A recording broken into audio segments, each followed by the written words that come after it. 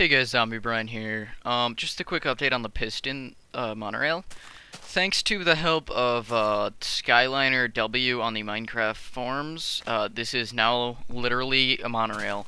Um, he figured out how to make it so that it goes on uh, one rail using this repeater, um, which consists of this going out to here, this powering this block and then this going back.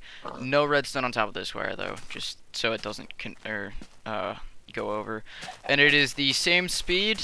Now it's more compact, and if you make it uh, in the in tunnels, it's two by two, and if you make it um, on this like on a sky bridge, you can see everything from one side.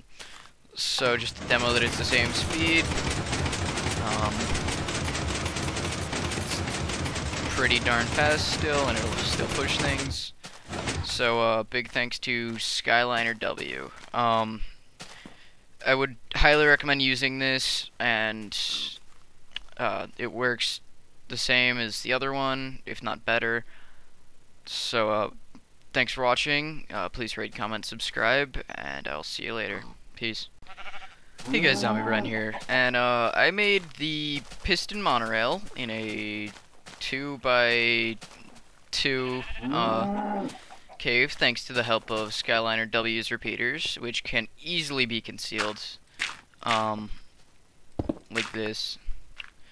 And then you just cover them over with dirt. Um, and they still work. Um, it's extremely compact now, and I love it. Thank you so much. Um, so I'm just gonna give it a go. Grab cow. Alright, Cow's gonna get to go then.